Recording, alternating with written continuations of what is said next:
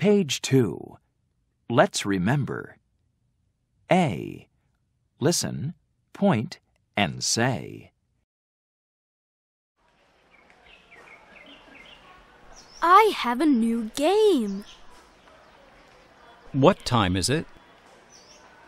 It's 12:30. He's my teacher. She's my doctor. It's a sunny day. He's going to the park. This is Kate's umbrella. These are my favorite cookies. Goodbye.